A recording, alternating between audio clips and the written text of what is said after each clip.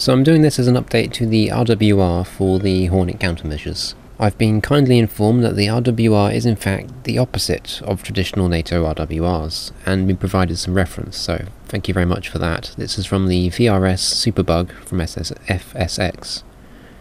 Now the reason I've originally stated that the closer to the centre the, an icon gets, the greater the threat it is to you, is because the manual just states just that, so now we've got conflicting information.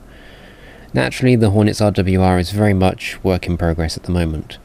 Having looked into this issue in-game, in a bit more depth, I've noticed that it does appear to be working that locked threats do in fact jump from the inside to the outside of the RWR when they lock and launch on you.